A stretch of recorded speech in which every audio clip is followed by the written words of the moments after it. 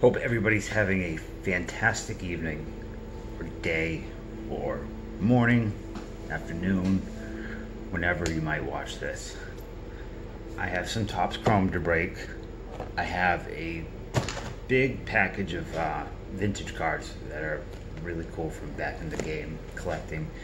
And I have this thing, which we're going to open up and see what the uh, mysterious 1987 Fleer card is uh, Troll 2 playing, one of my absolute favorite movies of all time. I don't think there's anything too not safe for work that I have to hide, except for maybe the movie itself. It's it's offensive to uh, your humanity. I'm not sure. So let's do these cards first, these vintage stuff. These came a few days ago. I have a bunch of mail that I'm going to open. I'm probably going to do all of it tomorrow. But my mailman left this in a weird place on my porch, so it sat out in the sun. And it looked like it was almost bulging. I don't think it, you know, it's, it's just paper. Nothing was bulging, but I got nervous and uh, wanted to open it up as soon as possible. So we'll go through some of these. There's a lot of common stuff in here, um, but there are some pretty good cards, some, some key cards, and then we'll do the extra innings, and then we'll do the Topps Chrome. I've opened three three blaster boxes of Topps Chrome already because I have no self-control, and I had no luck. I like the cards a lot, but I don't like the, the hits. So uh, we'll briefly go through some of these. Um, the hell is on here? I'll, a lot of these are probably going to be given to to people who, uh, you know, if you like the Angels, you can have a Joe Ferguson card to help fill in team sets or, or something like that. They're all pretty much packed fresh. Uh, Dennis Martinez. I thought about putting together the Ikes. I think I've read about these guys on Wikipedia. They call them the Hammer Brothers. Terrible things. Amos Otis, what a happy man. Glenn Hoffman. Uh, I love 84 Fleer. Uh, it's so generic, but I think that's part of it, the appeal. It looks like you know 84 Fleer looks like it looks like a um, like a gas station sign or something. Man, that's Mike Easler, the man who taught Mo Vaughn his swing. He's sweating. He's a wet boy in that picture. Dang. Uh, what, what was I gonna say? Something about these. Oh, John Wockenfuss. Uh, these, so back in the game, these are pretty much pack fresh. He breaks sets, and um, instead of buying packs, you know, from eBay or wherever, you know, you'd spend so like 82 Topps. You're going to spend, or 80 Topps, for instance. You know, you're looking for a Rickey Henderson rookie. You're going to spend like 60 to 80 dollars on a pack that could be searched, and you know, there's no guarantee you're going to get a card out of there. So he'll sell, he'll break a set of 80 Topps. Um, I don't know, it'll be like 14 cards per pack. Each pack has got a top loaded Hall of Famer. And uh, they're like six bucks a pack. So you're guaranteed a Hall of Famer, all the cards are clean, and you know, it's. Oh boy. I had no idea he was in here. He he needs a top loader as fast as I could get one. And this is for the Wrath of Kane. I know you love your your, your filthy baseball players. Rusty Kuntz and uh, Dick Burns, Dick LeCoq, Johnny Dickshot, all those uh, amazing players. So this one's for you, buddy. My grandfather would have loved that. He was a dirty son of a bitch. Uh, Tom Underwood, Bruce Hurst, excuse my language, my father, Jeff Reardon. Such a dad picture. Of my father loved Jeff Reardon. Hey Google, volume at three. Whoever guesses this song, not guess, whoever can tell me what song this is, gets a prize. I will send you something if you get the song. Sure somebody out there knows it. Fernando, Bruce Hooton, Vida Blue, Dick Williams. Try to go through these. I know there's some um, some good players in with the, the common stuff. Howard Johnson, Jack Morris, like Fergie Jenkins. Hey Google, volume at two. John Denny. I love this set. Swan Mookie Wilson. Rick Mann with a big thing of chew. John Mayberry, Alexander. Lonnie Smith, the uh, the very uh, generous and awesome Chris Sabo's glasses sent me a, a video uh, about Lonnie Smith and uh, his story, which I had no idea uh, that he what was it he planned on murdering his the manager of the was it the Cardinals? Or is it another I don't know who else he played for I don't remember. Did he play for the Royals? But he was gonna murder them or something. I, I have to watch the video again. To Chet Lemon. These cards pretty bold but Jack Clark never never cared for him. You got Rod Carew Bobby Murcer Jeff Newman Bob Welch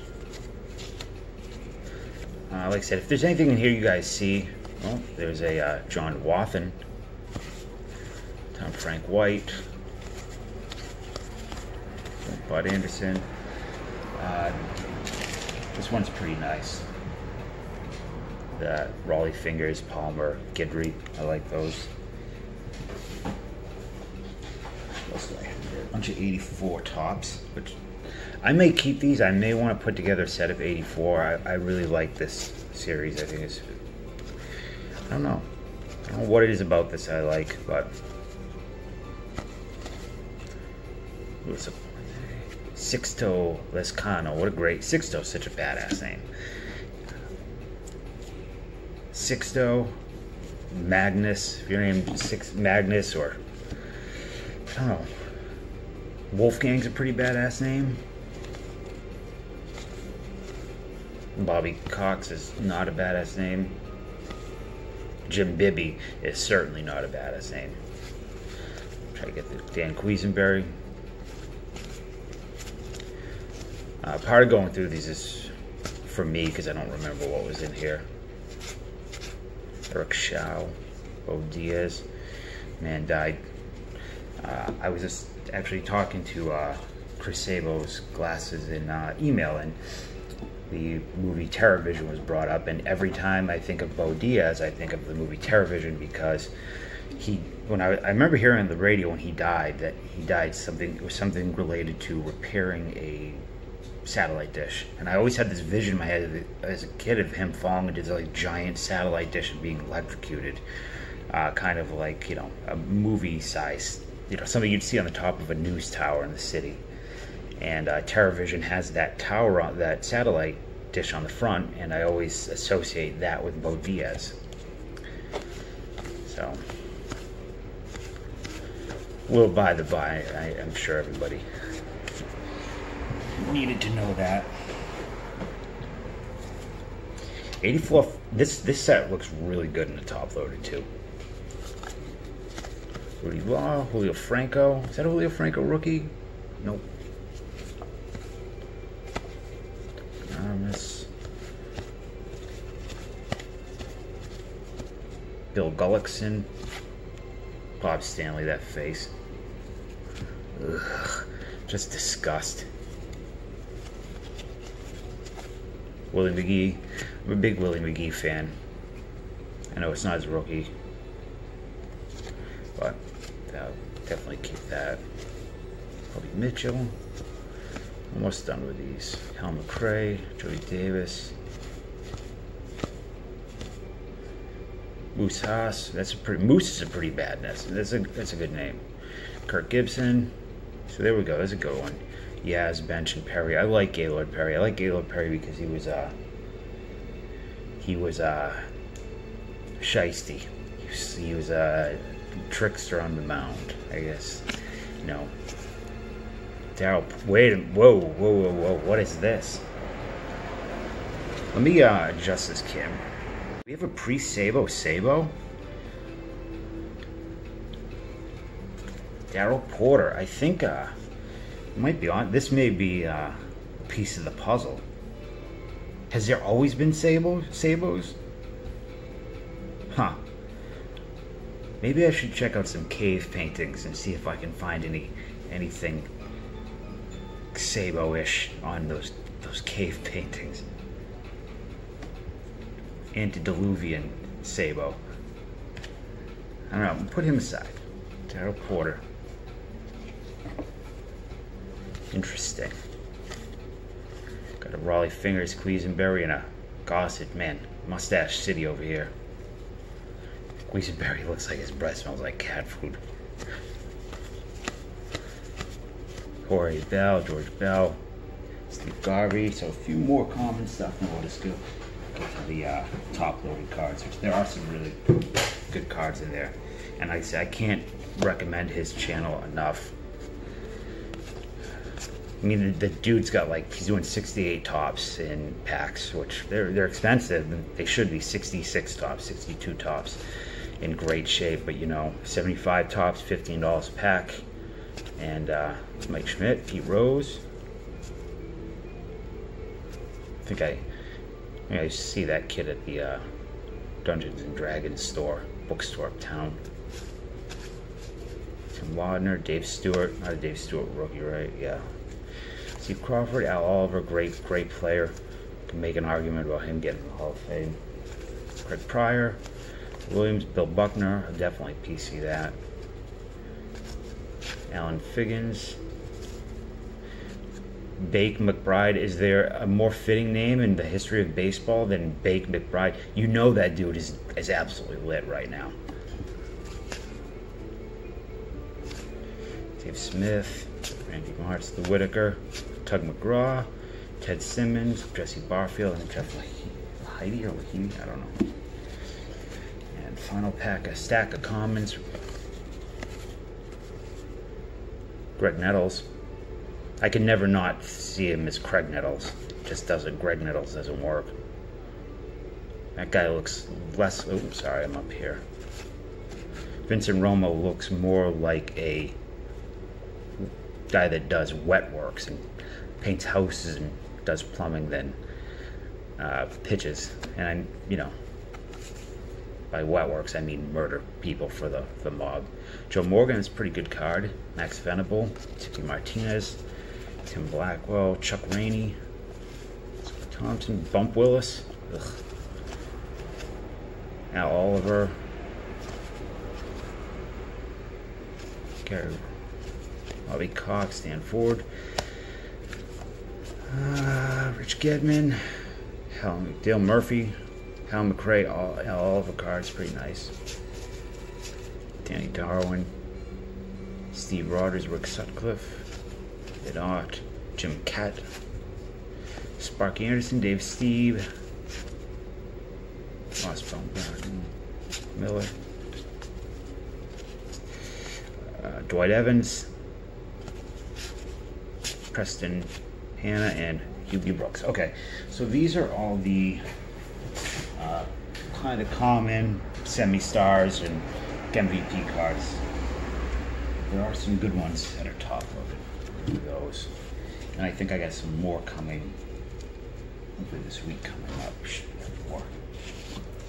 It's a good way to also, if you, I never was big into putting together sets, so this is a good way for me to put together some, some Chet, some Chet lemons to get together a Chet lemon set to put together a uh, start putting together some vintage sets. So what we got here? Um, Don Sutton, got Gaylord Perry, got this nice Rickey Henderson, Tom Conroy, clean card. They're all clean cards. Andy Van Slyke, which somebody graciously did gave to me. They didn't they didn't want it. Um, Reggie Jackson, Wade Boggs rookie. I had just got one from Chris Weaver, and it's uh, I'm happy to have two. Oh, it's great. Jack Moore, Steve Carlton, and this is a really nice Rickey Henderson.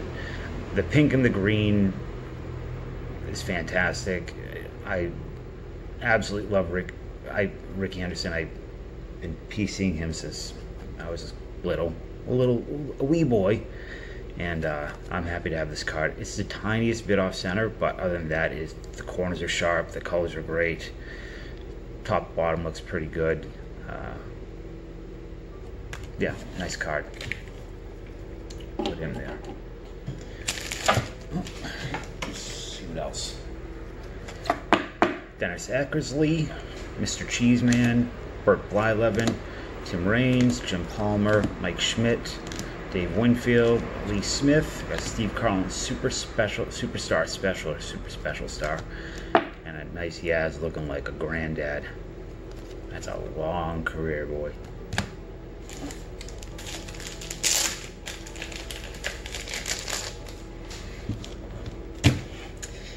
And finally, we got Don Sutton, 84, Reggie Jackson, 84, Tony Perez, that's for you, Cody, Carlton Fisk. Love Fisk, I PC him whether he's on the White Sox or Red Sox, another Fisk. Bert Blyleven, Dirty Birdie Blyleven. I don't know why I said that. I'm mean, thoroughly embarrassed. Uh, Nolan Ryan, Steve Carlton, Gaylord Perry. This is nice. Uh, John Jabs, I believe, sent me one of these a while back, but can't have enough Nolan Ryan cards. This Ozzie Smith, which is super clean. Uh, I love this card. Love Ozzie Smith. And a Phil Niekro looking awfully menacing. So, some cool vintage stuff. I'm very happy with it. Uh, would have been happier if I hit the Tony Gwynn rookie because I don't have that or the Ryne Sandberg. But I'm still still happy. Now this I mentioned in the free break video, which I do want to give a quick update on that. One of the guys that was in it, Taco Meat, was I spoke through email. He doesn't collect baseball cards. He collects hockey, so he he's the guy that got the stack of all the members' choice cards.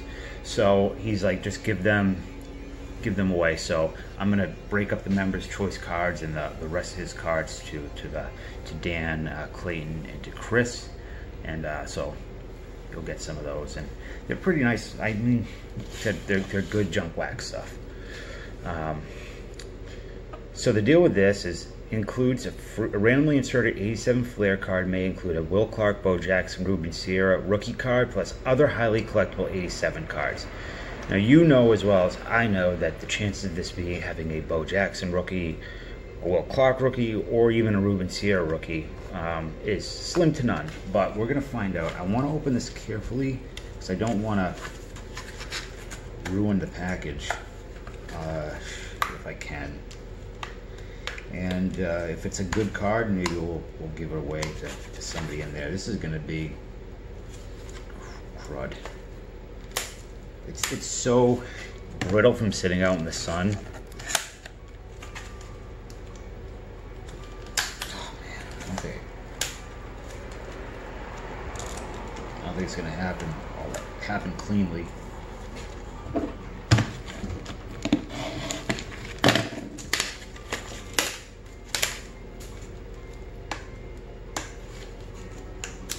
I thought I could do it.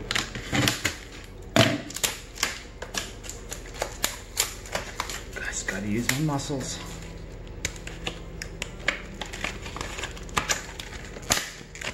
Ah, dang it.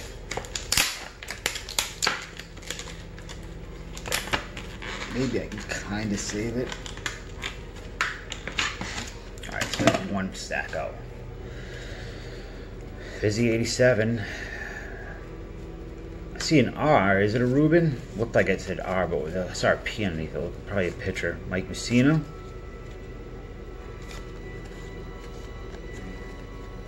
Charlie Hough. I'm not a fan of these cards. Tiger Tandems.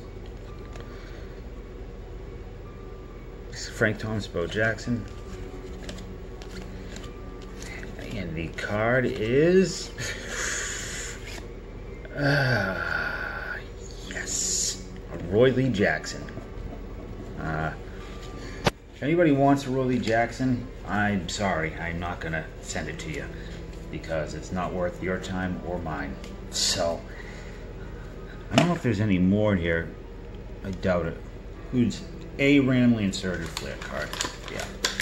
I could see through the package that there's there's no more in there.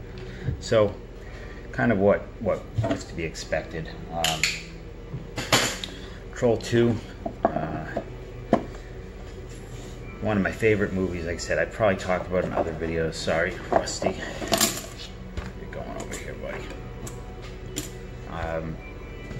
This cover here has got nothing to do with the movie, um, pretty much at all.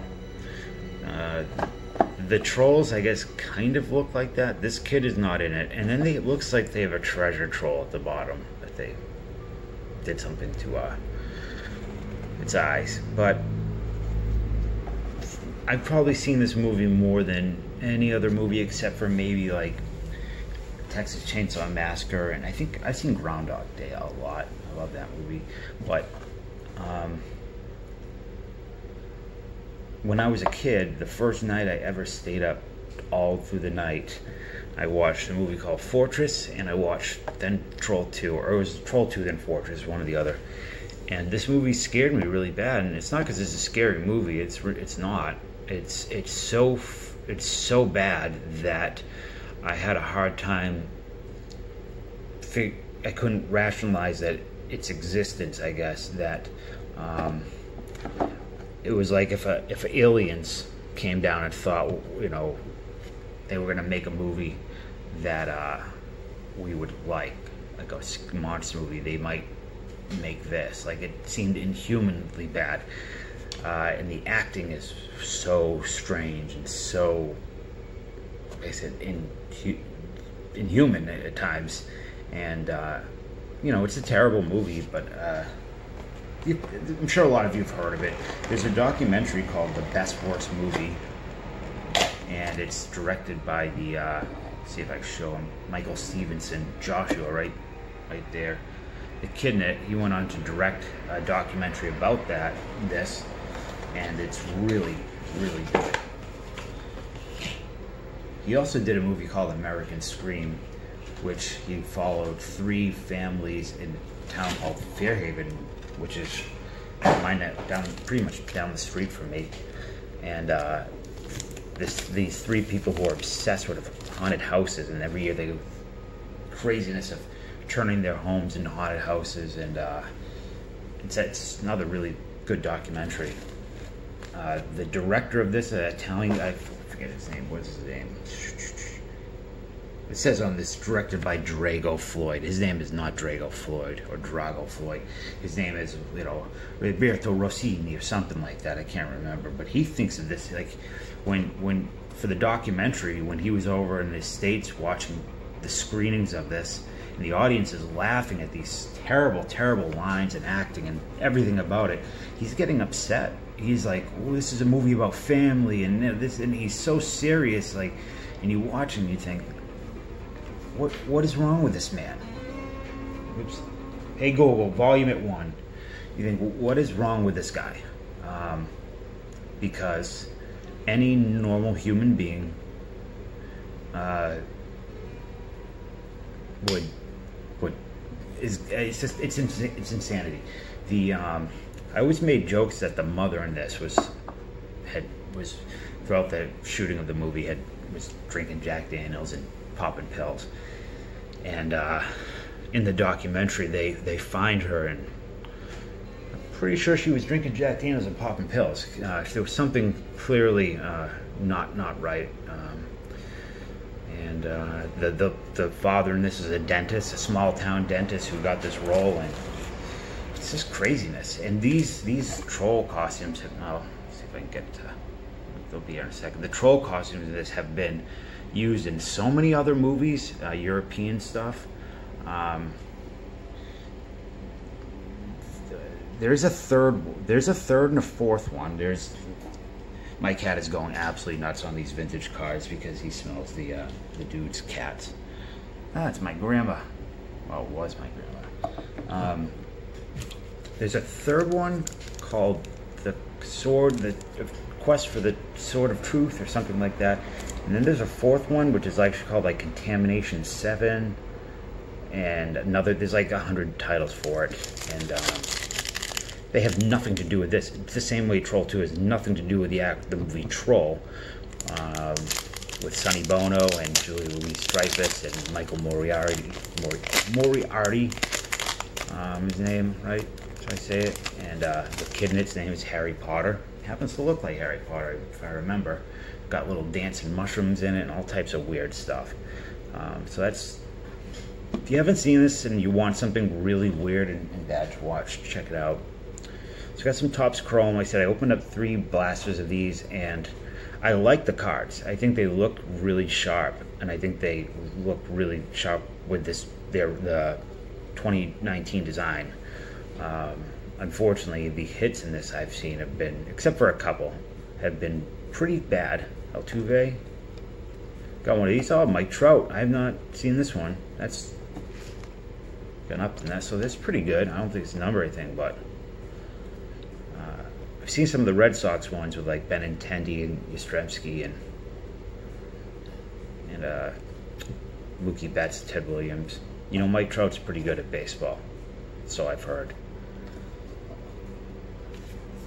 Uh, yeah, I like the shininess of these cards. I like twinkly cards. I like the optic. Oh my god, dude, please stop. You're gonna ruin these. Do you wanna?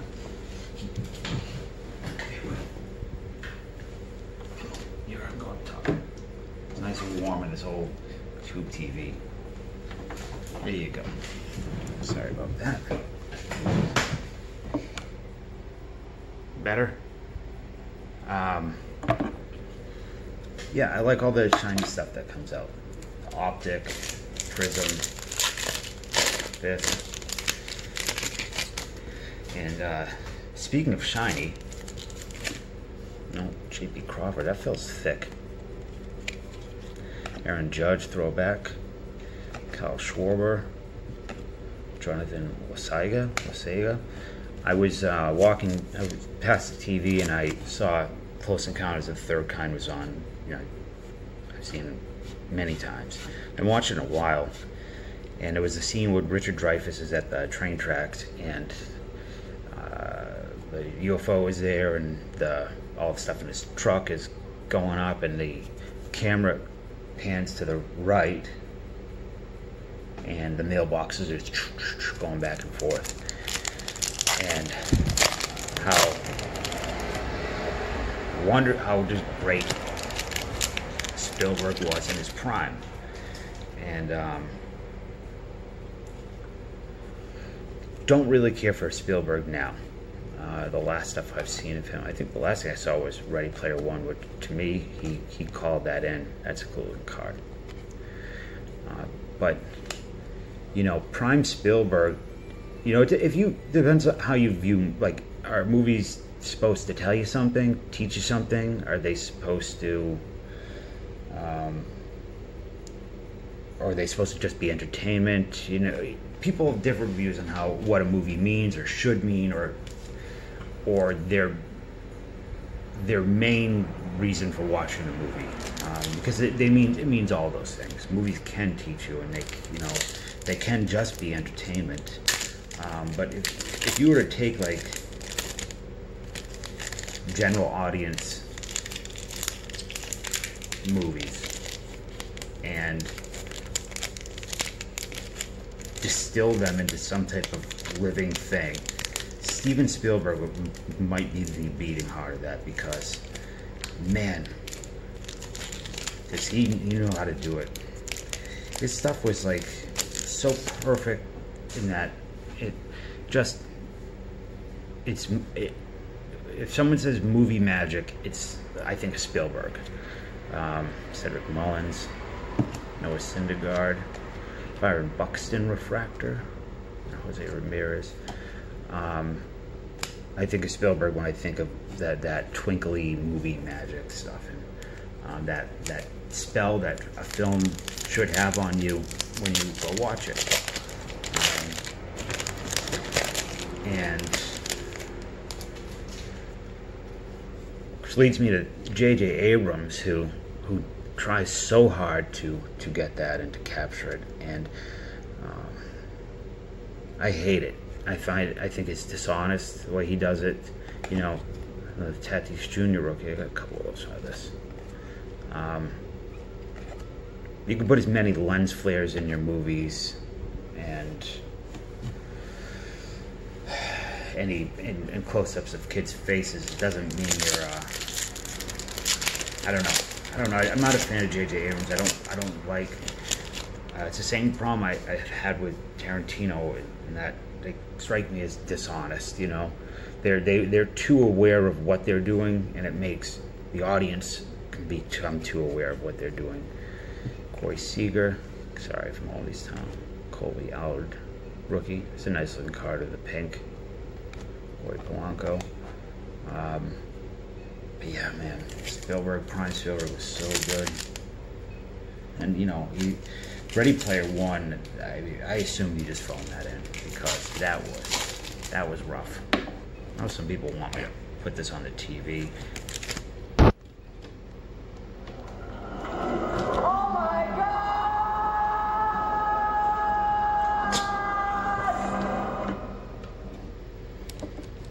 I mean, Spielberg's never would never put together a scene like that, but he wasn't bad. Um, Brinson, Adames, Matt Chapman. This is also a great scene.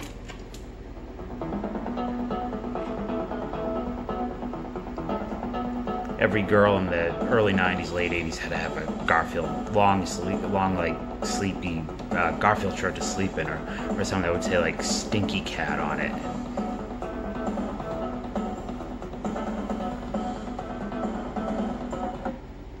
If I could dance like that, I wouldn't be doing YouTube Dear videos. Elliot Cooper, tomorrow morning will be your final judgment. Either me or your boys. Take it or leave it. The beautiful Holly Waits or your lovely little boys. Yes. Make a choice, Elliot. classy, class, class. Final pack. This is the uh, these like the sepia one. Yeah, yeah. Abrams, Tarantino. I mean, I, I've come to like Tarantino more as the years go on, but I really want to see what he does with Star Trek. But you know, I understand. You know, paying homage to the people you love. You know, if, but I, I don't know. When you wear it too much on your sleeve, I and I notice it, or somebody else notices, the audience notices it. I don't, I don't care for it. But um, Chris Shaw, Manny Margot, and Max Kepler. So those are the cards. Like nice looking. Um, I really like the pink on the, s- the silver throwback. It's really nice. Miguel Cabrera. Nice looking cards. Um, the hits I've not seen have been great, except for the one of one Big Meat Pete Alonso. Uh, that I can't remember who pulled it, but that's a big card. I think it was like five or ten grand for that thing. Ten grand seems a little bit crazy for that. Um, so yeah, that's kind of uh, that's kind of it for tonight. And then tomorrow I'll do some some uh, mail. I got a ton of mail. I'm trying to uh, juice, uh, extract the guilt out of uh, my brain for receiving it before I do the video, and um, I don't know what I've uh, this. I really don't know what's in any of it. So except for one, I do know one. Um, so I'm looking forward to, to open that up. And uh, I have the Fangoria cards, which I'm hoping Sunday. There's the video is going to be so long, and I've been, as I mentioned, I I've been, I got, I have, I think every Fangoria from '79 to not not present but almost present, and I've been reading through them, kind of preparing, and it's interesting because there's a lot of great articles in there, a lot of stuff I never never knew, and uh, you know probably never made its way to the internet, um, or you know to the news groups and IMDb trivia and all that type of crap. But the cool thing I, I'm finding when I'm reading those is the advertisements and how much I want to own these things. So I've been trying to find uh, the I'll look and I'll so it'll be like a little ad in the side for like the ultimate guide to monster magazines, and I'll go on eBay see if I can find a copy of it. And some of them I am uh, finding, I, I probably will pick up, but it is going to be a long video, and I don't know how many people are going to be interested in me talking about whatever's on the these cards for like three hours. And I'll have to break it up, maybe do like a th three or five part series because it will be very rambly and uh, you know I know the longer the videos are the retention rate and all that type of YouTube statistics and stats that I don't know if I should even care about. I don't I don't really care about uh, everyone's at the national. I hope they're having a good time. It's, it's in Atlanta next year so it may be something worth uh, driving down to Atlanta to see.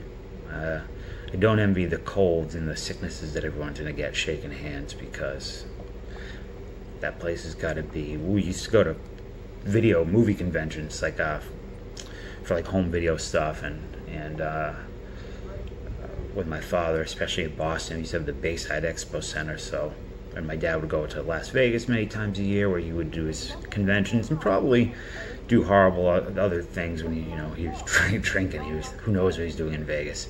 But he always came home with jewelry for my mother and toys for us, or you know, the computer, or you know, Nintendo, or like uh, something. He'd always come home, and uh, it was a, it was kind of his penance for for whatever he did. Um, but the um, he'd always be sick, and whenever I'd go to one of the conventions with him whether it was for videos or whatever else he was working on at the time, always get sick. So I'm sure everybody's gonna have a, a card cold, if that's a thing. Hashtag card colds. Um, I was just talking with somebody um, about a breaker's mat, and it he sent me a picture of it, uh, Chris Sabo's glasses, and uh, man, that thing looks so dope. I want it so bad. So I'm gonna get a breakers mat set up and I'm gonna get something that's higher up so I can kind of come down and there's a lot of room in this room that I'm in but this space that I'm working in is very small and uh, uh, I need to once we until I switch this area out with uh, the bat one of the back rooms up here um, it's going to be in this small space. I do have another laptop here so I can stream but I'm having trouble um, getting it to recognize the the uh, camera that that I was sent by Chris uh, by by John and uh, so I, I, do want to live stream and in time in time. So I hope you guys enjoyed the video. Um, Rusty Kuntz uh, Wrath of Khan that is for you if you want it. And this I don't know we'll call it proto proto porter sabo proto sabo. I don't know what this is. But i think the sabo mystery just got a little little thicker a little a little more mo that's what we say thick in massachusetts. Now we say situations got mo which means big thick meaty. Good night